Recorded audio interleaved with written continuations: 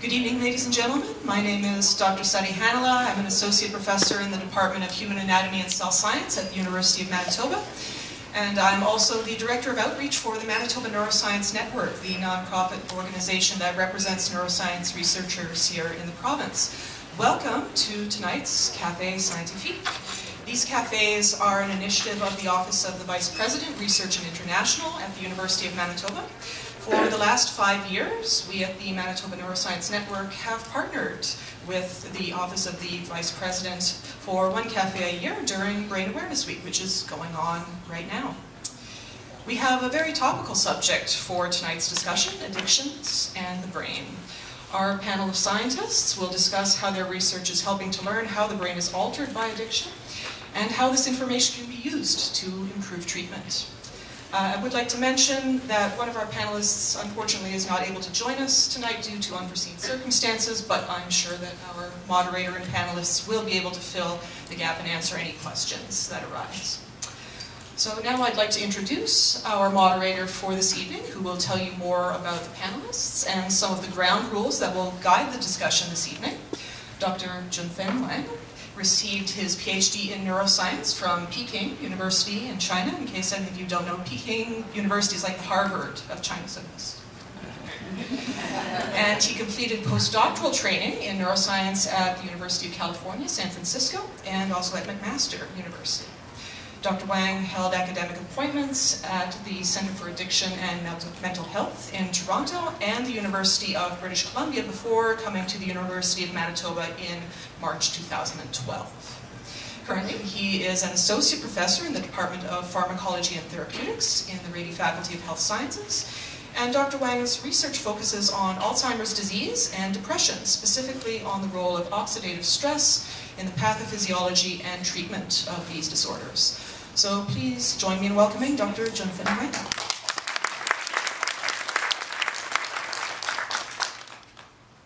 Thank you, Dr. Halina. Uh, welcome everyone. Um, I will be your moderator for this uh, evening's uh, discussion. Um, this event will take one and a half hours from 7 to 8.30.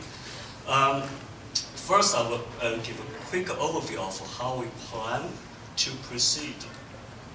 So each of our panelists will speak for about 10 minutes um, for their um, perspective on the topic of discussion. Um, after our panelists have spoken, I will open floor up for discussion and question. Um, I will be passing the wireless the microphone so that everyone can hear your comment and questions. So this evening's panel um, presentation are being videotaped recorded for later uploading um, on the Cafe Scientifique website. A link to video will be posted on the umanitoba.ca slash cafe scientifique website next week. Um, there, you see that there are refreshments on the side of the table, so um, so, so please help yourself. And also remember there are some additional material on the side of the table. So if you are interested. Um, and also there are evaluation forms on the chairs. And we ask that you will fill out this form before you leave uh, in the end of the section. Uh, that brings me to tonight's two experts. So they are Dr. Erin Knight, and second one is Dr. Matthew Keough. Um, and just now, Dr. Halina mentioned that we're supposed to have Dr. Glazner, um, but unfortunately, he wasn't able to attend this because of family issue. So he did send his sincere request. So first, I would like to introduce uh, Dr. Matthew Keough. Matthew Keough is, is an assistant professor in the Department of Psychology in the Faculty of Arts at the University of Manitoba. He is a clinical psych, psych, psych, psychologist and chair of addictions psychology section at the Canadian Psychological Association. His research focuses mainly are understanding and treating comorbid addiction and emotional struggles. In particular, he is currently leading a large-scale random, randomized controlled trial testing the effectiveness of self-guided online treatment for comorbid alcohol misuse and emotional problems such as depression and anxiety among young adult Manitobans. Dr. Kehill's clinical work is evidence-based, informed primarily by cognitive behavioral therapy and motivational interview models of psychotherapy aside from his direct research and clinical work. Dr. Kehill also has a passion for both mental health and advocacy and knowledge translation. Please welcome Dr. Kehill.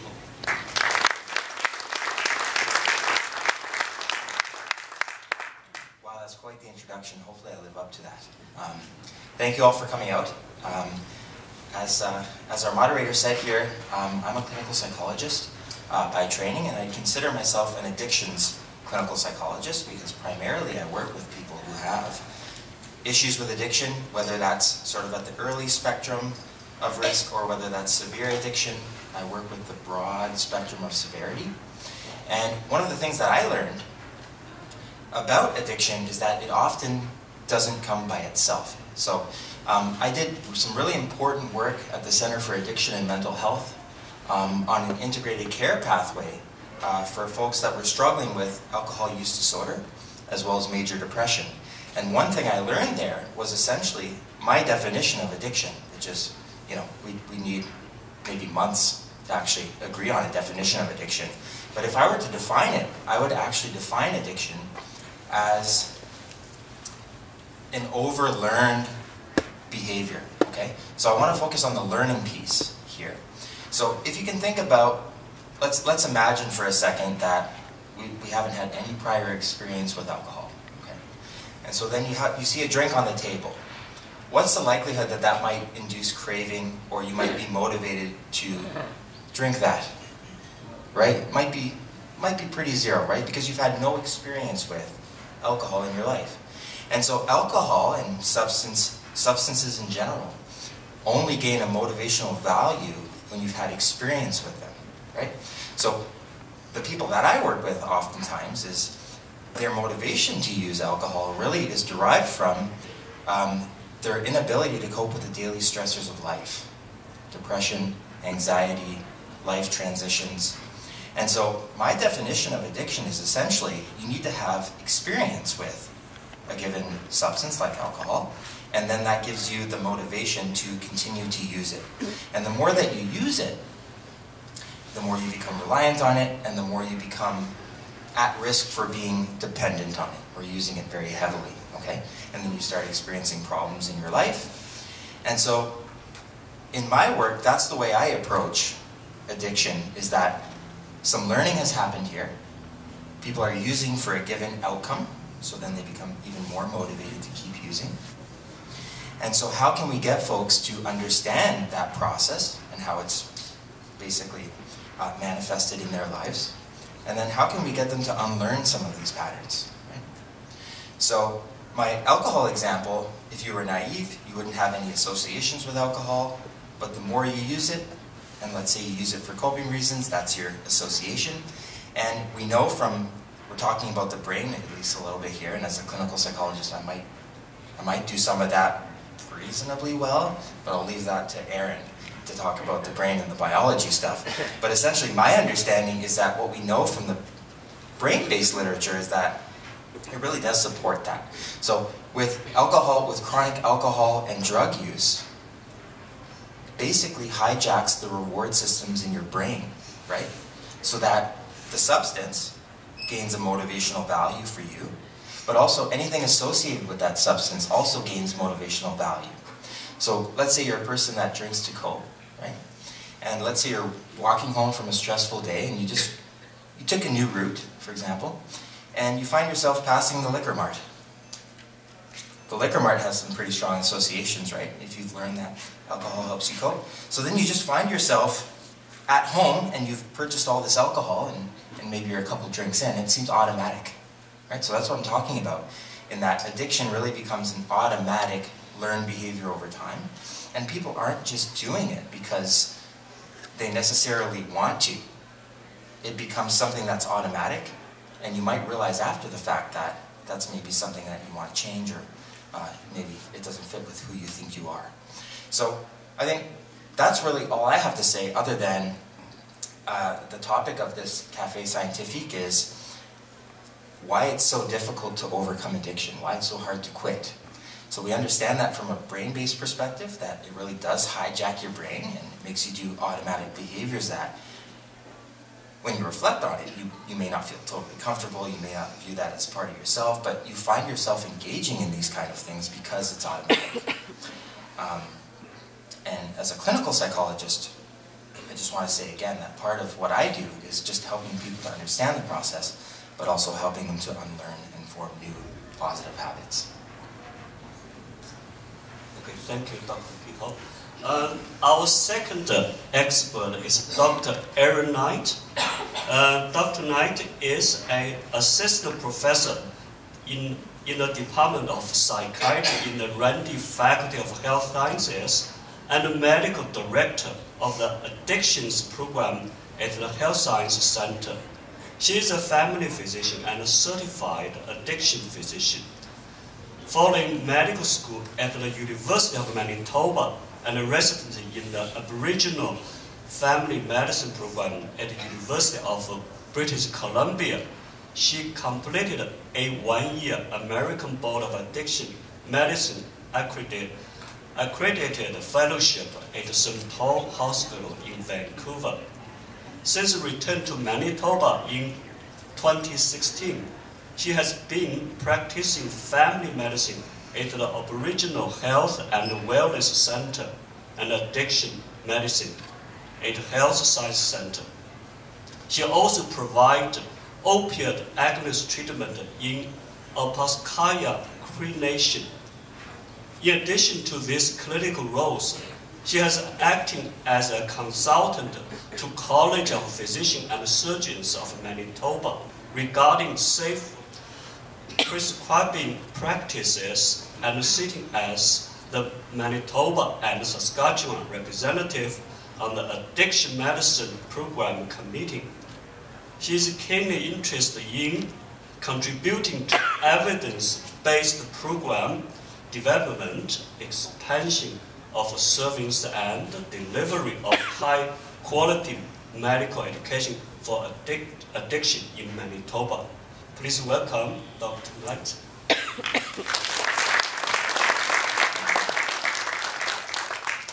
Thanks very much. Um, so, as, as was in, uh, said in my introduction, I'm a family doctor by training, um, and I, after I completed my training in family medicine, I found that I was often um, seeing people who were struggling with substance use in my practice throughout my training, and I didn't have enough skills to be able to help deal with that. And so uh, that led me to doing a, a one year uh, of additional training in addiction medicine um, before coming back to Manitoba, where I've been practicing since uh, I finished my training. Um, and so um, I I do a combination of family practice uh, at a, a community-based practice um, at Aboriginal Health and Wellness, as well as a focused practice in addiction medicine, predominantly based out of the hospital. Um, so usually um, when people are admitted to hospital, um, but also some community-based practice with the launch of the rapid access to addiction medicine clinics, as well as the work that I do up in Opaskwayak Cree Nation um, regarding opiate agonist therapy. So that's things like methadone and Suboxone. Um, and so I see myself as um, engaging with addiction in, in three kind of separate ways. One, just as a, as a person and as a community member, where I see people who are struggling uh, with substance use disorder and addiction um, in my social circles. Um, I also see people in my family practice who may be using substances at a low, um, low risk kind of pattern of use some people who are using at a high risk pattern of use and may be at risk for substance use disorders, and then also some people who are struggling with substance use disorder and trying to engage with people and try and reduce their harm as much as I can from a family practice role. And then I also see people from my addiction medicine consultant kind of role, where often people already have declared themselves as having struggles with addiction or, or um, substance use disorders and have presented to that higher level of care. I want to take back um, the discussion a little bit and just talk a little bit about the history of addiction care. And one of the things um, with addiction is that um, for a very long time, for years and years and years, it was understood really as a moral failing. It was understood as somebody didn't have enough strength to stop using or they had some kind of flaw in their character that led them to be using the substance that they were using um, and using it in that pattern that was destructive to themselves and to them around, the people around them. Um, and in that same way, uh, addiction care was often done in uh, so outside of kind of the professional realm, outside of the medical realm, where addiction treatment was provided by non-professionals predominantly and often by peers. So people who had struggled with addiction themselves um, and who uh, were either were either um, at a place where they were doing better from their addiction and wanting to help other people, or maybe even still um, at some point along the spectrum of struggling with substance use. And what we've um, what we've seen over time is that as we gain more understanding of um, substance use disorders and of some of the neurobiology and the pathophysiology of them, um, we are starting to uh, understand them and frame them more as chronic diseases. And that's where you're seeing people like me who have gone through medical training who then develop a specialty in, um, in substance use disorders.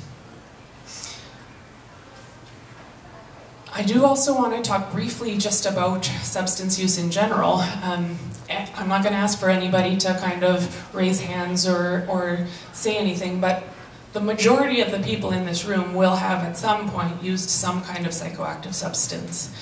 Um, and that might be a glass of wine with dinner, that might be um, that might be a cigarette when you were 13 because you were trying to fit in with the people around you. That might be a little bit of cocaine at a party when you were in your 20s.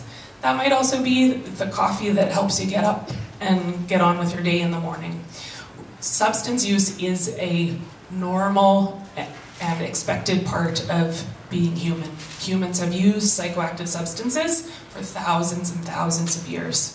And the problem when we talk about addiction or about substance use disorders, which is the, the terminology that we use today, um, it's not about the substance use itself. It's about the destructive pattern of use, and it's about the um, the substance use becoming that um, uncontrolled uh, and, and, problematic use that is causing negative impacts on the person who's using and often on the people around them as well.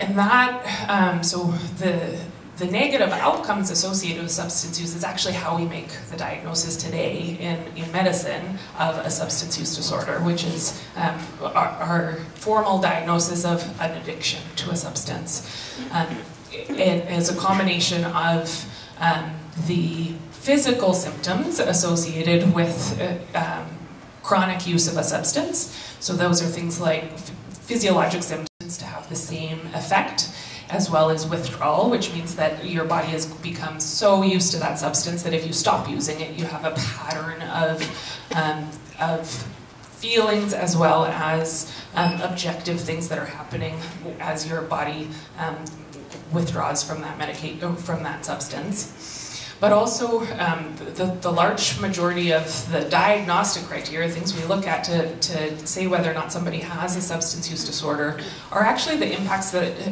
are being had on that person's life. So that's not coping with, um, that's things like um, not being able to complete um, their responsibilities. So that might be family responsibilities, that might be work responsibilities, that might even be just isolating from things that were really important to them previously. Um, and other um, things uh, like um,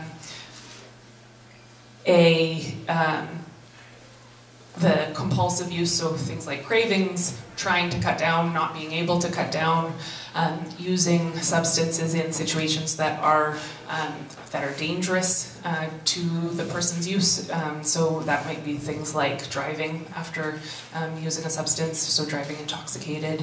It might be uh, things like high risk um, activities uh, that people engage in when they're using substances. So that could be things like um, like sharing of in, uh, injection paraphernalia if they're using injection drugs. It could be unsafe sexual practices when they're using.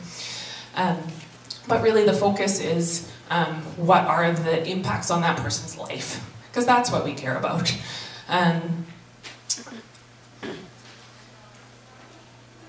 I'm going to take a peek at my notes here for a second.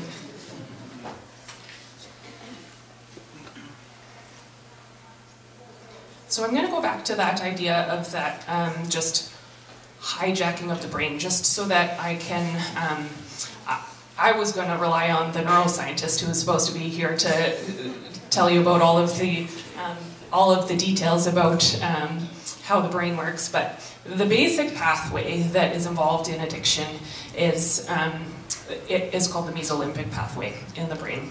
Mesolimbic. Um, you don't really need to know all these things, but there's two main parts of the brain that are really important in that pathway. One is the ventral tegmental area that's in the midbrain, and one is called the nucleus accumbens. And what happens when any psychoactive substance is used is the neurons that are in that ventral tegmental area either release more dopamine or stop uptaking the dopamine as much so that there is more total dopamine in the nucleus accumbens.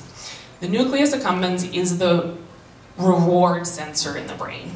And so when when it is exposed to high levels of dopamine, that tells your brain, I like this. This is valuable, I want more of this. It's the same pathway that is what tells us to eat. It's what tells us to have sex so that we have babies so that our species survives. Um, but what happens in uh, substance use disorders is that that reward pathway gets hijacked. And so when you uh, expose um, the brain to a psychoactive substance like nicotine or alcohol or cannabis or opiates or uh, cocaine or crystal meth, the release of dopamine in that nucleus accumbens is higher than those natural reward pathways. And if you continue to expose, um, if the person continues to be exposed to that substance over time, over and over and over again, the brain becomes used to that higher release of dopamine in the nucleus accumbens, and it becomes less happy with the dopamine that's released with the other important things in life. And so, with that ongoing cycle of repeated exposure, the value of that substance that releases the higher amount of dopamine becomes higher and higher and higher. We call that salience. And the value, the relative value of those other super important things in life of eating, of having a good conversation with your partner, of hugging your daughter, relatively go down. And so this person ends up in a, a situation where their brain is saying, I need that higher hit of dopamine. And that's where the cravings and the um, um, what my colleague mentioned in terms of your previous learning of uh, the things that are associated with that substance become um, triggers for, for that person to use. And so by the time that somebody has a substance use disorder, it's no longer a decision that, you know what, I feel like having a glass of wine. It is, my brain is telling me that this is what I need because I need to survive. And so as we've learned about this, we've um, developed some um, there's people like me now who, who develop some expertise in this. There are um, medications that we target towards uh, interfering in this um, in this hijacked pathway. There are also um, psychotherapeutic um, strategies, counseling techniques that are designed towards relearning the pathways, um, relearning the normal coping strategies, and um, dealing with the cravings that come up in this situation with this hijacked reward pathway in the brain. Um, and we're seeing uh, an expansion of training of physicians and counselors who are um, taking this on as a, a, an ex, a um, as a topic of expertise and trying to help people um, to kind of retrain their brain. And that was a lot of talk about kind of neurotransmitters and pathways, but I think it's a really important thing to just get a um, little glimpse of in terms of that hijacking of that pathway, um, because that's one of the ways that um, it's really important to understand that that's what we're dealing with is this automatic pathway in the brain that we need to be able to provide some understanding to the person who's struggling with it and to the people who are surrounding that person so that we can help them to um, essentially retrain their brain. Okay, thank you, Dr. Knight. Uh, now I would like to open up the floor for the comment and the question from the audience. Um, and if you want to get up um, and help yourself to the refreshment, please do. Um, I will be the a roaming microphone holder to, uh, so that we can hear your comment and uh, questions. So e you can either direct, uh, direct your question to one of our expert, um, or just uh, to anyone in general on the panel, and we will do our best to give an answer.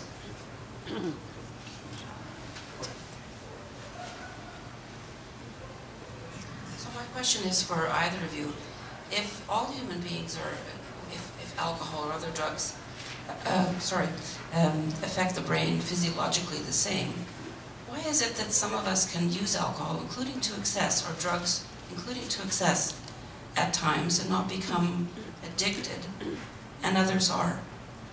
I'm not sure I understand that. Okay.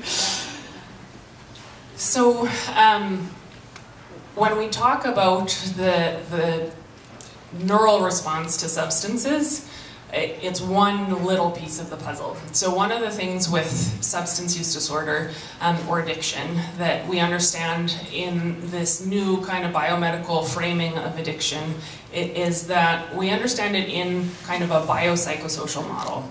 That means there are biological components, there are psychological components, and there are social components, as well as spiritual components to both the development and the treatment of substance use disorders.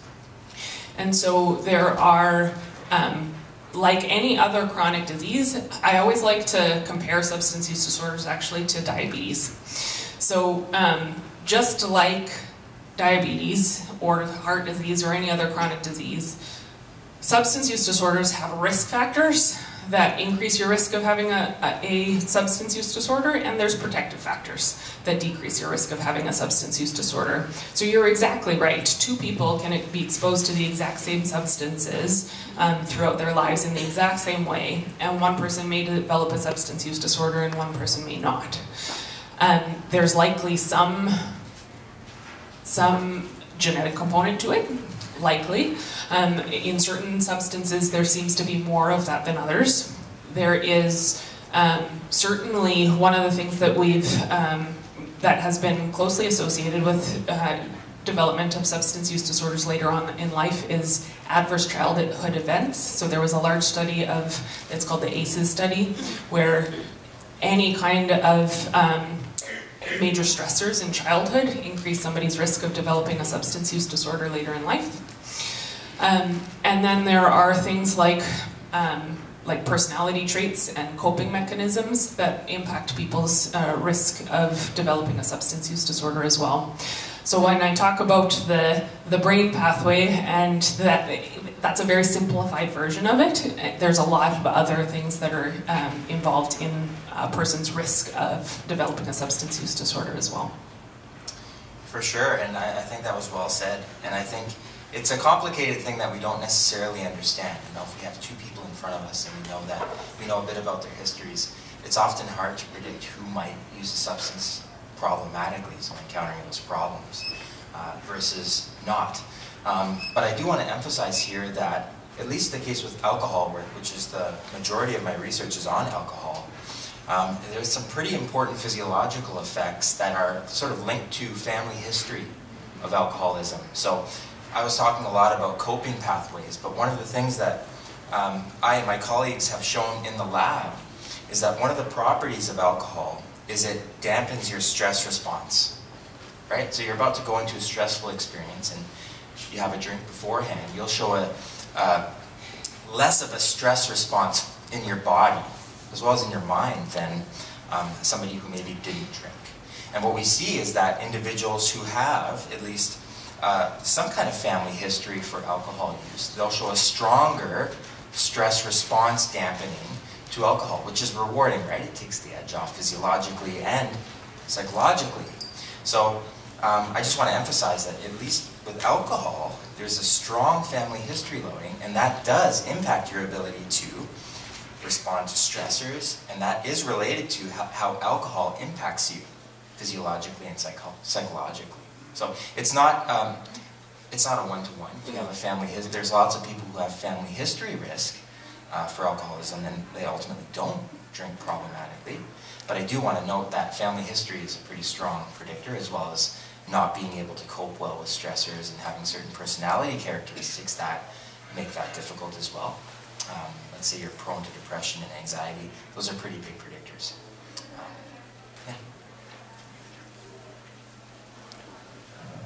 Are there differences physiologically and psychologically between, say, uh, substance abuse and eating disorder? Say, overeating, or, or, or are, they, are they distinctly different? Yeah, I, I, think that's a good question. And honestly, people are debating this very issue. Um, and I don't know, guys have probably heard this, that now everything is being, essentially, if people are doing it to excess, people are calling it an addiction. So um, we do recognize binge eating as an issue, so eating large amounts of food, not being able to control that behavior. So one of the key features of addiction is not being able to control the behavior, right? And I would say that it does share some of those characteristics with addictions like alcohol, like cannabis, like some other um, sort of hardcore drugs. Um, and I do think it shares, but I don't know, and, and it does share some brain circuitry right? As, as my colleague said here, it does share brain circuitry. Um, but yeah, I just want to acknowledge that there's a debate, but I do consider if something becomes at a level where it's difficult to control, do we want to call it an addiction? Not quite sure, but it is definitely a disorder that leads to problems, and some of this, some of the problems are similar to substance addiction.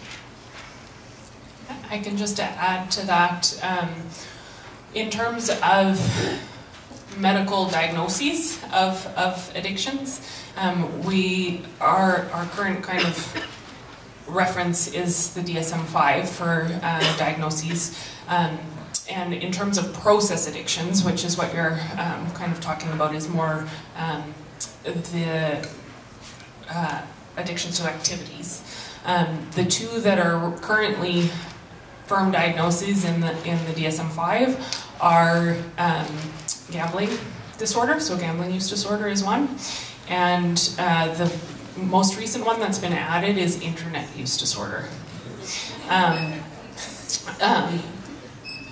And that's been more in terms of um, increasing the research that's going on into it. Um, right now, binge eating is not a formal diagnosis, but it's something where there's lots of uh, research that's going into it right now.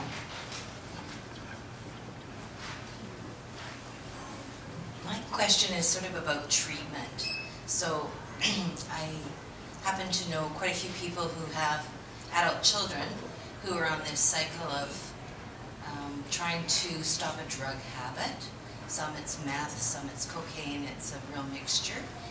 And just what I've observed is that it doesn't seem to be, like you can't have treatment once and seemingly repair those situations. Like that the, it's really difficult.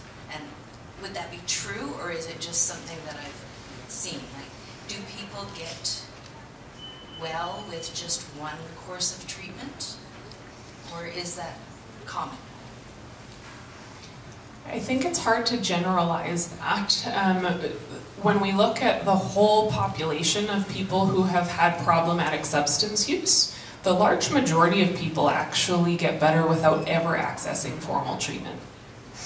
And so um, we, we in the treatment realm actually don't see the large majority of people.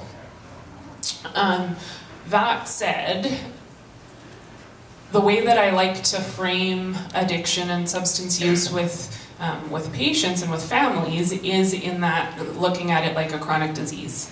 And so that does mean that it is something where sometimes people are going to have periods of relative stability and they're not going to need to engage in really intensive treatment at all.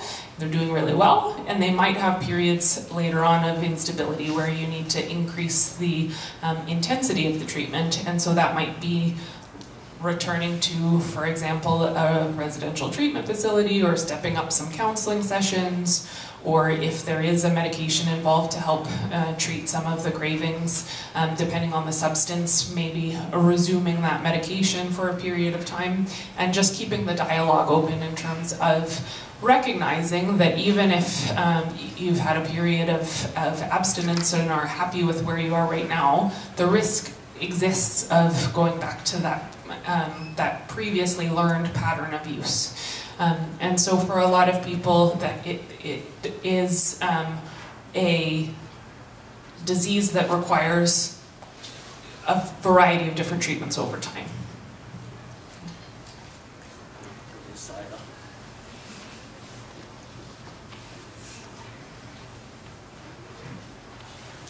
Hello, thank you. Um, I, uh, a comment and a question. I'm a dietitian who's worked in eating disorders for around eight years. I'm no longer there, I'm in research now, but anywho, I appreciated your response regarding uh, binge eating and addiction and your carefulness around that. You know, there is lots of debate going on. Um, and what I've heard it compared to is uh, sex addiction that, you know, sex and food have been talked about as you know, being necessary for life, and so how can we be addicted to them? So, um, of course, one might say we don't need cookies to live. Um, cookies are lovely. Um, however, it's that relationship to food and sex that, um, in my practice, along with a team, a treatment team, and uh, other professionals uh, working with a person in group and individual, uh, that we helped people work through their relationship to food and, and talk about that, what you were saying about those learned uh, behaviors uh, around that. So, so that's my comment, so thank you uh, for letting me share that. And secondly, um, you know, certainly binge drinking is a problem and uh, we haven't touched on it yet today. But my question is, in regards to binge drinking, you know, we see it with friends, family, and they don't see it as a problem because it's just on the weekend. However, it does impact their life, put them and others at risk. And what's the social and physical aspect of how binge uh, drinking works and, and, and how might uh, you know, a family member help uh, someone through, through that? Thank you. Yeah, I, I think that's a great question.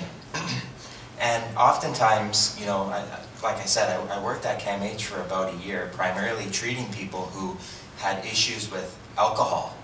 But you'd be surprised um, how many of them come in simply saying, my wife told me to come here. I don't, I find I don't have a problem. Sure, like anybody else, I drink, you know, a 2-4 on the weekend, and things are okay, right? So it often takes a lot of work to, first of all, to get them to realize that it's having, having an impact on their life. And I think in general, the advice that I give to sort of family members is basically keep being supportive, right? Keep being supportive, and maybe eventually, maybe eventually they're drinking, or you never really know what gets people to shift in their mindset, but it's always good to have family around you who are supportive, who are expressing care and concern for you. And if that's enough to get you to get on the subway, go downtown in Toronto, see this guy who's asking you questions about your life, then chances are there's a little piece in there where you feel like you have some kind of issue. And then as a clinical psychologist, there's this really great literature. And I'd encourage everyone here to, to read on it. It's called motivational interviewing. You probably know all about that. And it's about getting people who are basically saying, I don't need to change at all, to getting to a stage where they're now making changes, they're changing their environment, they're not drinking anymore. It's motivation is really powerful, and the way that you interact therapeutically can make a tremendous impact on somebody's ability and self-confidence to change. So that would be my response to that question. Thank you for bringing that up. Um, one of the things that we know, again, when we look at kind of the population of people who use substances, is that the largest proportion of um, presentations to healthcare and the largest kind of impacts um, from substance use in our societies are actually for people who don't have a substance use disorder. They just have high risk substance use. And so that's what you're describing um, is a, a, binge pattern of, substance use. And it may be um, that somebody who uses alcohol, for example, in that binge pattern on weekends, um, it may be that they do have a substance use disorder when you kind of break it down and see how it's impacting their life. It may also be that they don't have a substance use disorder and they, they simply fall into this category of high risk alcohol use. Um, we do have Canadian recommendations for lower risk drinking um, that came out I don't remember when now, but they've been out for a while. Um, that you can you can Google and look up. There are some really good handouts on the lower risk um, Canada um, alcohol use guidelines um, that recommend kind of a, a maximum uh, daily use of alcohol as well as weekly use of alcohol for for women and men um, that are um, tools that we often use in family practice uh, when we're screening for uh, problematic substance use to um, try and identify people who are using in those higher risk levels and employ things like motivational interviewing and brief interventions to help move people along that spectrum and try and reduce their risk. Um, and so um, I agree with all of um, all of what was already said in terms of just being a support to the people around you who you think um, are maybe using substances that are um, impacting them in a way that they're not quite realizing, and um, hopefully that person also has access to something like um, like a family doctor who's doing some of that screening and some of that brief intervention as well. Hi, um, I kind of have a three-part question, if that's okay. um, when I look at addictions, um, sometimes a lot of the research will speak to addictions being an adaptive response to things like poverty, trauma, uh, marginalization, stuff like that. And a lot of what I heard you speak about was more of an individual focus, which may be the actual focus of your research. So I guess what I'm looking at is, have you done any type of research on looking at some of the structures that are put in place that lead to things like social exclusion, where, I mean, if you just think about drinking itself, how many people have a drink just to fit in? that's on a small scale, but I'm talking on a larger scale when we look at things like people, our marginalized communities and looking at um, the impact of their addictions and where that comes from. Um, I'm just sort of wondering if that's my sort of first part, um, if that was any part of your research. My second part is um, what your thoughts are on some of the stuff going on in BC, particularly like Plainamel and um, Vancouver with regards to the four pillars approach to dealing with addictions. And then my third question is um, if um, looking at the social determinants of health and how that is a piece around addictions.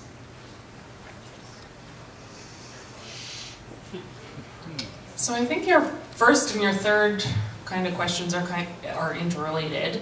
Um, we we haven't really talked uh, about that today. Um, the I, I think in some ways alluded to it in some of the things like um, the, the adverse childhood events of growing up in poverty, for example, um, or being in um, being in a situation where you're moving from home to home would certainly be adverse childhood events that uh, that uh, increase the risk of, of substance use disorder later in life.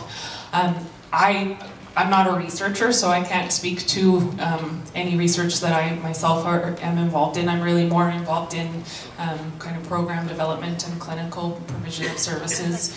Um, so I'm going to pass that one along to my colleague and see what he thinks. Okay. I'm happy to comment on that. And you know, I, I kind of want to shift the focus a little bit um, on some work that I'm doing with a colleague that I have in Quebec.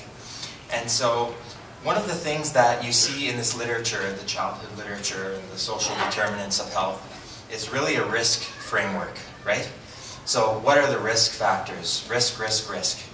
And one of the, the good shifts that we're seeing, at least in that literature, is more of a focus on resilience factors. So the factors that actually protect against, let's say an individual is, is, is unfortunately in a situation where they're in poverty and what are some resilience factors that actually allow those people to not get engaged in substance use? And one of, one of the research projects that I'm, I'm involved with now is, um, so my my colleague actually collected data in two northern indigenous communities in Quebec. So children, so grades uh, 6 to 11.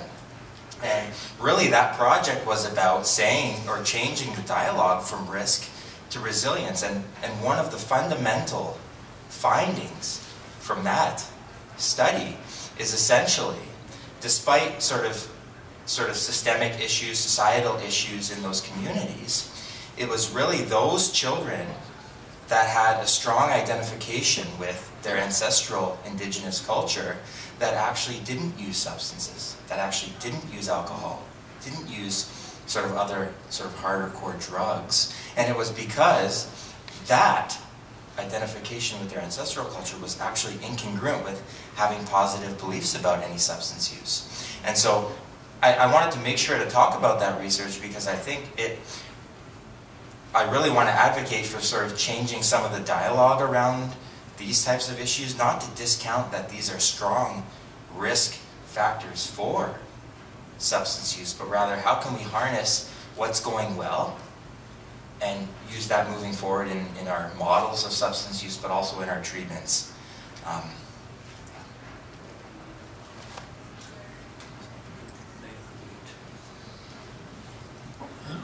My question is uh, regarding the use of drugs for relief of pain and the risk of becoming addicted by taking drugs for pain. Can is it a serious risk? Um, I'm assuming that you're speaking mostly about opiate-related pain medication. Yeah, yeah. Um, so there's been um, a shift in our understanding about opiate, um, opioids for pain management. I came on, I came into medicine kind of as the pendulum was swinging um, from one side, from one very far extreme to the other. And so in the 1990s and early 2000s, we were using a lot of opioids for pain management, and we were. Um, it was felt that there was no kind of upper limit for what we could use for opioids for pain management, and we should just keep increasing the dose, and it would help. Um, it would continue to help. And we uh, got into this situation where we had a huge number of people who were on huge doses of opioid medications, and now we're a decade later, and we're seeing this opioid epidemic that has um, that has reared its head in, in North America. Um, so Canada is just second to um, the US in terms of total prescribing of opioids and in terms of the, the deaths related to um, the opioid epidemic. Um, and certainly not everybody who uses opioids for pain management is going to have problems with uh, uh, developing an opioid use disorder, so an addiction to those opioids. Everybody who uses opioids on a regular basis for pain management is going to have physiologic dependence to those opioids and tolerance to those opioids. So they are going to continue to have to creep up, likely, in terms of the how um, how much they use over time, and if they stop using it, they're going to have withdrawal. Um, the key in looking at um, the um, somebody who's been prescribed opioids for pain management for, for a long time um, and whether they have developed an opioid use disorder is looking at all of those other impacts on their life. Um, and if they have that compulsive kind of use, if they're using more than they're supposed to, and they're running out early, and they're using for things other than the um, other than the pain management, they're using because of that warm fuzzy feeling they give you, and because it makes your life feel better. Um, and the literature kind of um, it, it, there's a wide range in the reported literature in terms of how um, many people who are prescribed opioids for pain management will develop problems with it. It's um, sometimes reported as low as kind of 5% of people, 1 to 5%, sometimes as high as 25% of people. Um, and certainly as the dose of the opioid increases, the risk increases. And so that's one of the things that contributed to the more recent um, shift of using lower doses of opioid pain medications um, and trying to cap them at a maximum dose. And that's actually something that we've seen in Manitoba. So the, um, the College of Physicians and Surgeons uh, just a few months ago released new opioid prescribing standards for physicians. Um, so standards are different also from guidelines in they're not a recommendation, they're an expectation um, that um, we try and keep doses of opioids for pain management below um, a threshold. Um, and if we go above that threshold, we, we do a really good kind of risk assessment and have a really good discussion about why we're going above that. Um, so I don't have a super clear answer for you. There is a risk of developing a, an opioid use disorder, an opioid addiction for people who are prescribed opioids. It's probably somewhere in the realm of 10 to 25 percent. Thank you. The, uh, enjoyed your presentation, first of all. Um, now, in the public eye and the media at the moment, there's a lot of discussion about crystal meth and the meth uh, epidemic or meth crisis. And I'd like to ask you two things. One is uh, how meth is different from other addictive substances. There seems to be more violence associated with it. There seems to be a lot of sexually transmitted diseases and increase associated with it. Uh, and uh, it seems to have a longer half-life, so treatment needs to be longer, and it uh, is uh, different to manage in that respect. Uh, I'm also hearing that uh, predictions that we are going to have a significant upsurge in meth problems uh, when the summer comes uh, in, uh, in Manitoba.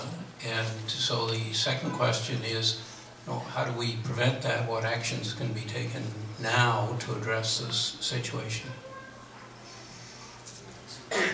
Good question, thank you. Um, So there's a couple of things in terms of why I think crystal meth is a little bit different from some of the other substances in terms of the impact that it has on people's lives as well as uh, the impact on treatment.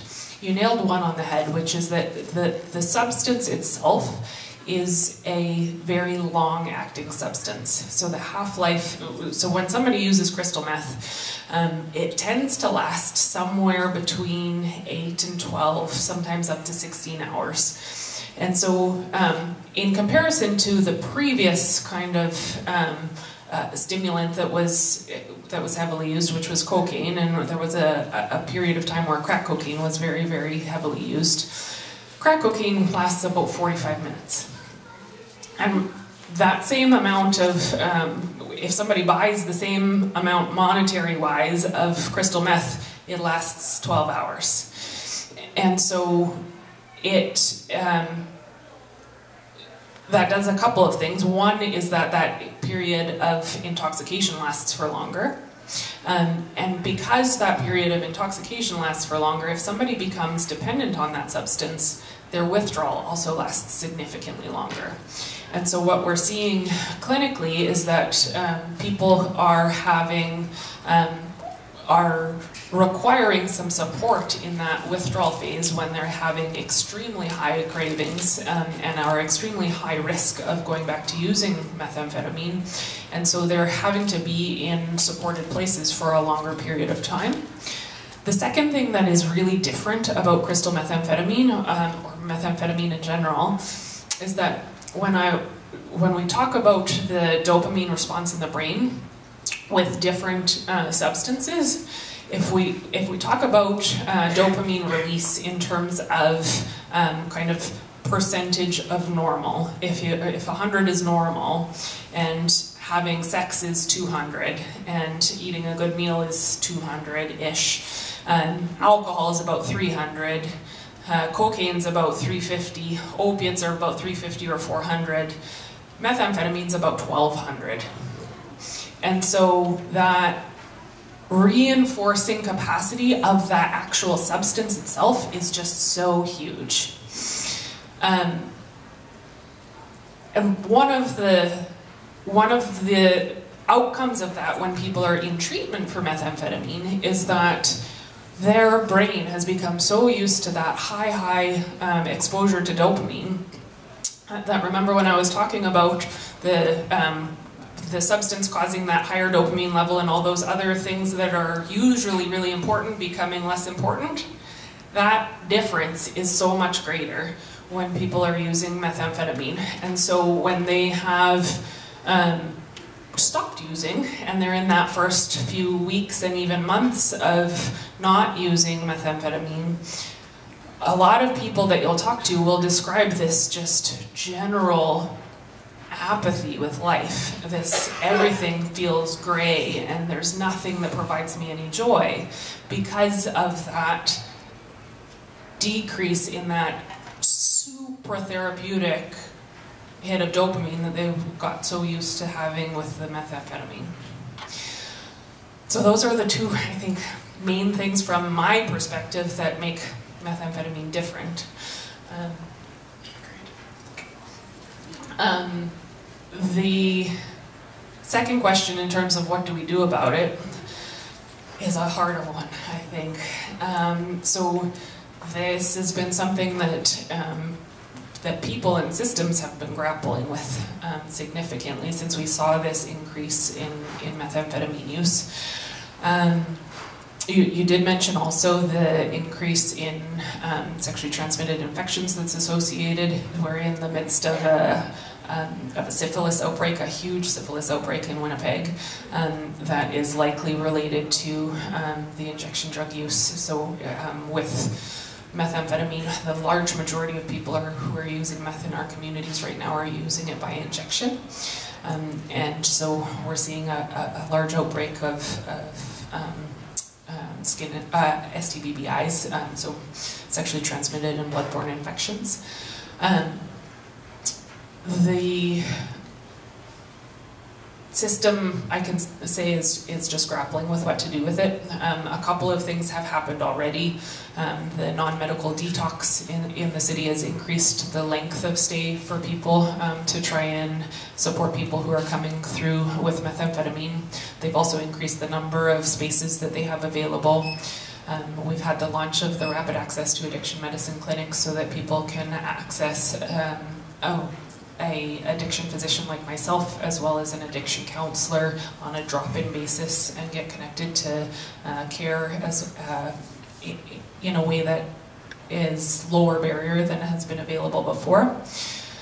Are those the solution? I don't think they're going to fix it, but I think they're going to be part of it. Um, and the other thing that is really important, I think, is things like this and just talking about substance use um, and uh, forums where we can talk about the risks um, of, uh, of substance use, try and uh, prevent some of the problematic use in the first place, and make um, some of the stigma associated with substance use a bit lower so that people can more freely ask for support and ask for help um, from the people in their communities. Thank you very much for your presentation. Um, I'm interested in something that you said, uh, that is that addiction has biological and psychological and also spiritual components, a spiritual component. I'm just, when I heard that, I was wondering if you're familiar with Michael Pollan's latest book, um, Change Your Mind, what the new science of psychedelics is teaching us about uh, depression, addiction, mortality, transcendence. Uh, and he talks about, uh, in his book, about uh, psilocybin and LSD and how that's been used to successfully, very successfully treat um, drug addiction. Harvard University. There's a research project going on there and other places as well. So I'm just wondering, uh, can you elaborate a bit about the spiritual component and, and, and whether or not uh, the, what I perceive as a huge increase in, in all kinds of drug use, if that doesn't reflect something about um, a spiritual something that's missing in our society? Yeah, I think that's a great question, and you know, I'm, I'm definitely not an expert on how various sub substances sort of impact individuals in different ways, but what I do know is that that, that work that you spoke about with psilocybin, LSD, that's very promising work, and people are actually using it kind of very low doses, even of ecstasy, very low doses, um, and they're showing some pretty profound therapeutic effects. But what I want to sort of, from my understanding, and, and maybe my colleague here can comment sort of medically on her understanding, but from my understanding, those types of substances, those very psychedelic, they're less gripping in terms of becoming dependent and abusing them, right? So you have these one-off experiences where very profound, but it's not like you're doing that over and over again, right? So that experience kind of stands alone and you're satisfied for a while, right? These are what some of the, the, the, clients tell me when I'm seeing them for, for using another substance. They'll say, I'll occasionally use psilocybin as a way to sort of stop doing that other thing as well because the experiences are so profound.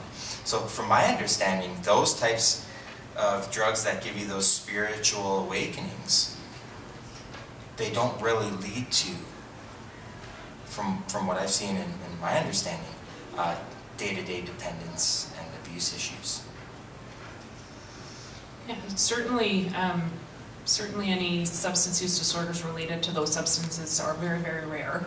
Um, the um, the psychedelic research that's happening right now is really exciting. Um, it's not something that is at the point where we can use it clinically right now, um, but there's some really promising work that's coming out. Um, and um, some of it does comment on kind of the, the spiritual nature of the therapeutic relationship in those, um, in those sessions. Um, my comment on approaching addiction in that biopsychosocial spiritual model is that um, I think the, the spiritual connection of people can be really, really important in terms of finding grounding and in finding meaning in their life. Um, and that might be something that they're not currently connected with, but might be really important with their, um, with their recovery and with their treatment. Um, and um, I, I can't speak to the kind of the spiritual. Um, I, I, I'm just not aware of any research on um, the um, impact of spiritual connection with the risk of developing a substance use disorder. But certainly for some people, it's a really important part of their um, therapeutic um, kind of uh, process in terms of dealing with the substance use disorder.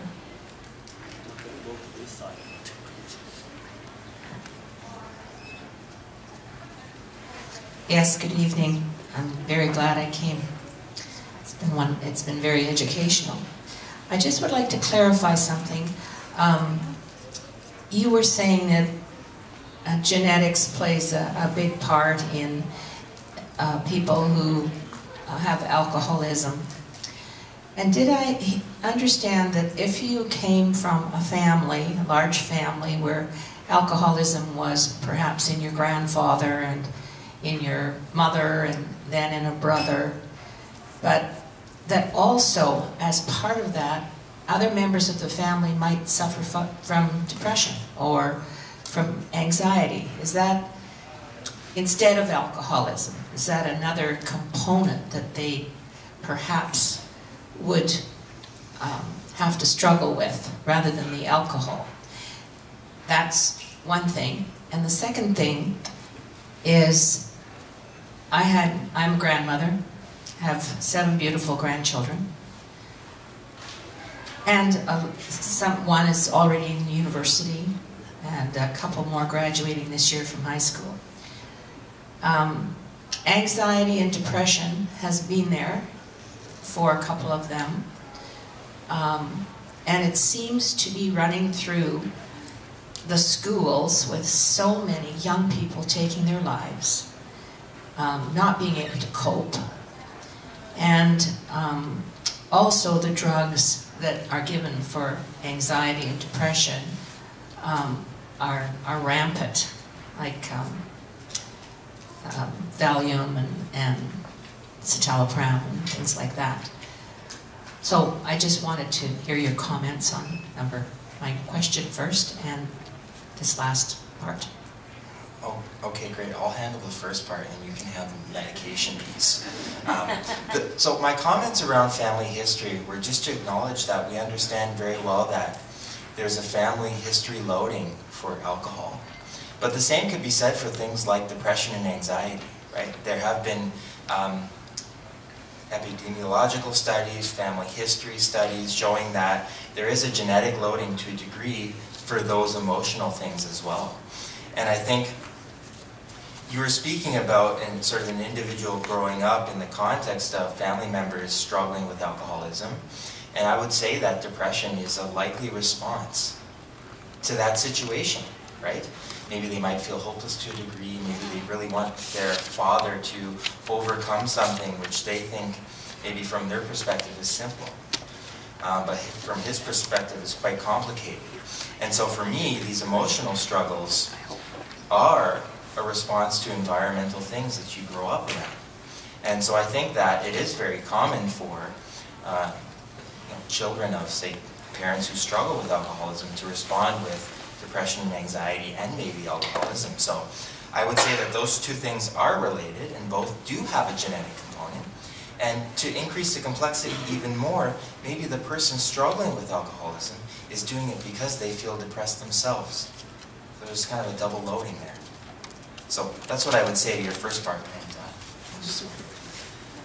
Um, I, I would agree with that. And one of the things um, that we know is that people who struggle with things like depression or anxiety have a higher risk of having a substance use disorder, and people who have a substance use disorder have a higher risk of having depression and anxiety. And so there's a lot of overlap between the, the populations um, who have one or the other. And oftentimes, it's part of um, our role in developing a treatment plan to, to try and address both. Um, and some of the reasons, some of the ways we may do that for both the substance use disorder and for the depression or the anxiety disorder may be um, psychotherapeutic based, they may be counseling based, but they may also be medication based. Um, the um, so depression and anxiety are, are two of the most common uh, mental health conditions that people struggle with in general in our population. Yeah. Um, and certainly it, it's something that there are there are medications that can help with deal, dealing with those. One of the medications that you did mention is the the Valium, the PAMs, all of the PAMs. Um, we're highly um, leaning away from using those medications for treatment of depression and anxiety these days because we know that they um, they actually only work for a very short period of time and then people very quickly develop tolerance to them and de uh, develop uh, dependence on them and then it becomes very difficult to get people to stop using those. So a good deal of my time in my family practice is actually spent talking to people about those medications and very gradually decreasing them and trying to help get people off of them. Um, and that's something that is um, newer in, in medicine where we're recognizing the long-term impacts from those medications and where we're trying to support people to come off of them uh, rather than using them as um, a coping mechanism for, for the anxiety. Um, the other class of medication that you mentioned was the, the SSRIs. So the, um, those are things like citalopram and sertraline and escitalopram, paroxetine. And in terms of um, the best evidence for, for medications, those are considered first line uh, therapy when we're looking at medications for treatment of both depressive disorders and anxiety disorders. Um, and um, they, when we look at their effectiveness, um, they are a for, for somebody with a moderate depressive disorder or moderate anxiety disorder, they're about as effective as doing cognitive behavioral therapy, so a structured uh, kind of interaction with a um, psychologist um, to work on coping strategies for depression or anxiety. Um, unfortunately, in our system, we often don't have good access uh, for people to access the, that cognitive behavioral therapy. And though that results in us often using medications to, to treat those, um, those things. I do uh, Bear Clan in the North End, and with our office being open seven days a week, we have on the average 140 people come to our door every day. And uh, I, what you're talking about, I see that every time. All the drugs and, and what have you. We're doing the best we can, but we don't have any education in this regard.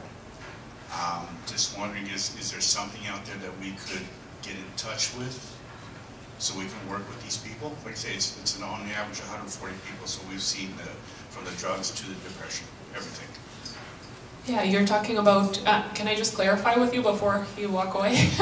um, talking about whether there's somebody who could maybe provide some education for the Bear Clan staff to be yes. able to engage with people? Yes, Absolutely. Um, perhaps connect with me at the end and, and I can um, give you some information. Um, I, I, can certainly connect with you about um, maybe arranging uh, a staff training session and I can connect you, you to some other people as well. Okay. Thank you. Yeah.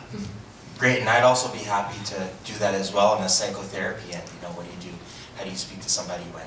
I'm sure you guys are doing a fantastic job, but I'd be helpful. I, would be more than happy to, to come and support you. We've got a, a new training session happening right now. Yeah, exactly. exactly.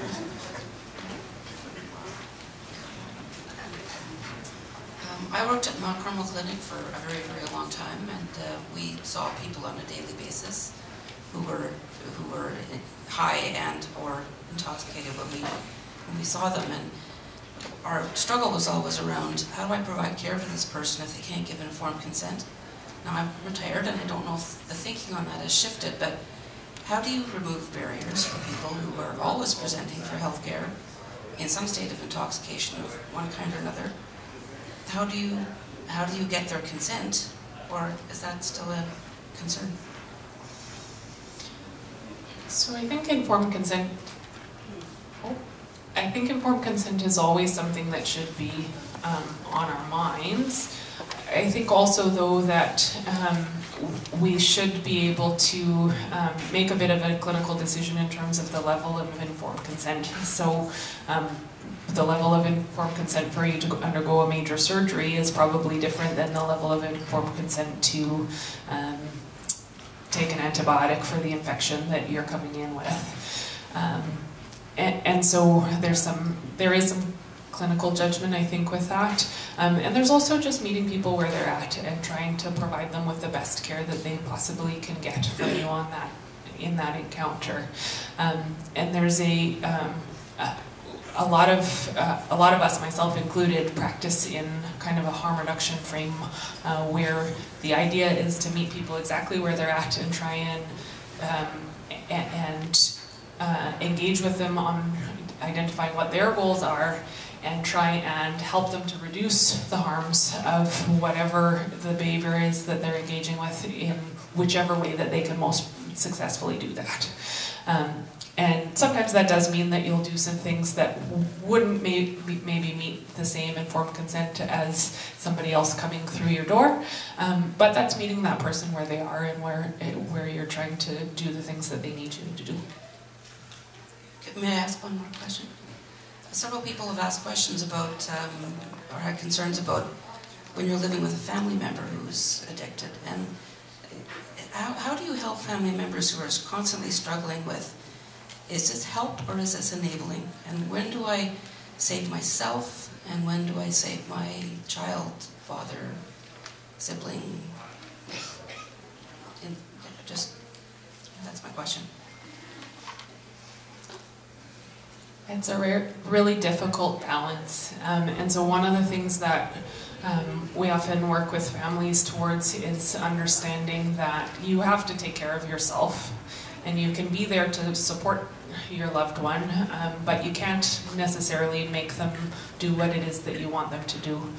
Um, and so sometimes that means saying that you're there um, and, and, that you'll be there if you if they want you to um, to um, support them in making a step forward, and maybe sometimes putting up boundaries where uh, this is this is where my boundary is. I will support you in way X, Y, and Z. I will not do A, B, and C. For sure, and I would say uh, I agree with all of that, but the best thing you can do if you're struggling and you're not sure if you're enabling or you're not sure what's going on, you're stressed uh, because you're trying to care for somebody who um, is just gripped on a substance. So the best thing you can do is, is, take care of yourself. So make sure that you get support for yourself. So whether that's seeing a, a, your family doctor, a therapist, whoever, social worker. I think it's important for you to get help because burnout is a huge thing among just caregiving in general. So oftentimes there's a caregiving role, right? Maybe it's your son or daughter. There's a clear caregiving role. So I think the best advice I would give is be supportive, but also make sure you're getting some kind of outside support for yourself, even if that's friendships, even if that's a mental health professional make sure you're supporting yourself. And there are some formal um, family programs through um, some peer support groups like Al-Anon, for example, and through um, things like the Addiction Foundation of Manitoba has a, a, a family program um, specifically developed to support um, loved ones who are um, are involved with somebody who's struggling with substance use. Since we're doing double questions here, I've got a double question as well. This gentleman over here spoke about Michael Pollan, and I followed him as well in the book and heard him speak about psilocybin and its therapeutic, therapeutic uses. My understanding is they're in phase three trials. Can you briefly tell me about phase three, if you want, you would know, what phase three trials are, how long they last, and I, I know that they exist in Vancouver and elsewhere. That's part one. Part two, cannabis is now legal in Canada, so you're, I'm surprised no one's asked a question about this yet, because it's a obviously a big deal in this country.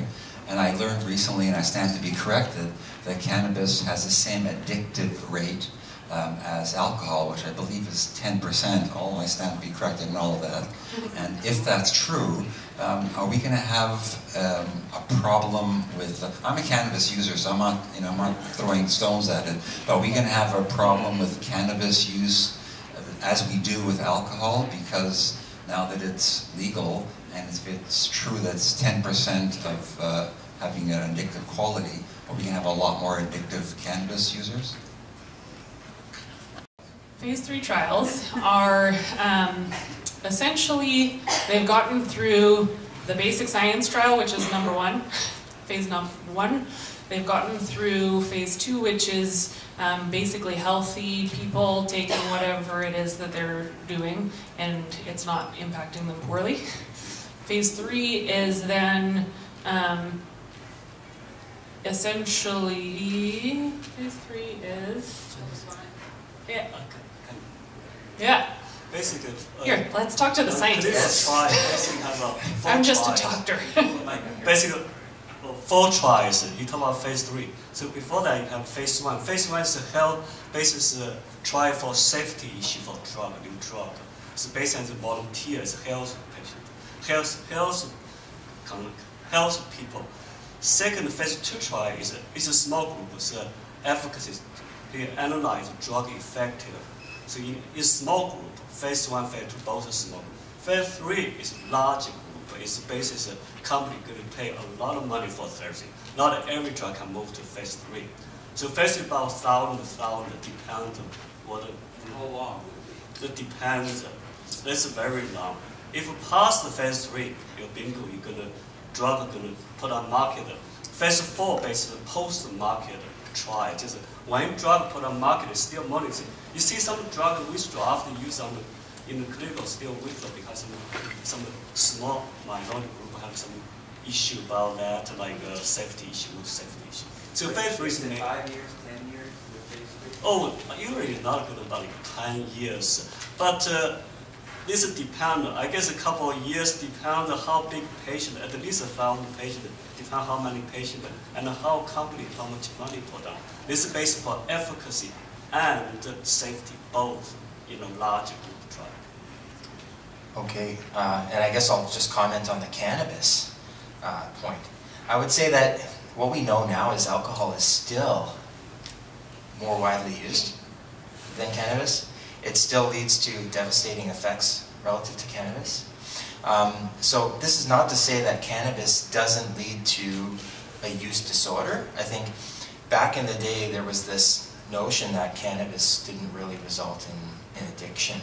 But we have very clear evidence now that it does. So you can experience withdrawal from cannabis. You experience a wide variety of problems as a result of your cannabis use. And so I, it, it is acknowledged as a use disorder Um, so I would say that we really don't know how the legalization will impact use here in Canada. So they were doing it for a while in the US, right? So we can learn some things from there. And I would say that it's really mixed. So maybe some of the initial impacts, the really the goal of legalization was to basically reduce underage use, right? So among adolescents. Um, in some states that happened, in others it didn't. And in fact, you're actually seeing some, some uh, effects where people are believing that because it's legalized, at least what we're learning from the US, because it's legalized, people are thinking that it's relatively harm-free or benign. But I would say that um, there are risks associated with cannabis, and as a psychologist, um, I'm taking every opportunity possible to point out that there are actually lower risk guidelines for cannabis use. Have folks heard about that? No? Look it up. Lower risk, like we have for alcohol. There are lower risk guidelines for cannabis use. So, harm reduction, judgment aside, if you're going to do cannabis, there are basically 10 suggestions how to do it in a safe, not risk-free, but less risky way. So I'd encourage all of you to look up the lower risk guidelines, especially for those that have sort of um, adolescents or young adults where the cannabis use is kind of the highest it is among our population in Canada. Um, and just make those available and you can understand those, but definitely look them up. I'll just add one additional comment to that. Um, so your, your stats are right. Um, it's about one in 10 people who use uh, cannabis on a regular basis will develop a cannabis use disorder. One of the things that I wanted to point out, um, though, is that that increase is actually significantly if people start using on a daily basis in youth. And so, um, if people start using before the age of 16, uh, the likelihood of developing a cannabis use disorder during some point in that person's life is about one in six. And so that's one of the reasons why um, the lower risk cannabis use guidelines suggest that people should delay cannabis use until uh, adulthood and ideally until after the mid 20s when brain development actually uh, is solidified. Okay, uh, now it's 8.26, so next will be the final question. Hi, I just wanted to ask um, if you can elaborate a little bit more on the connection between cannabis and schizophrenia and psychosis.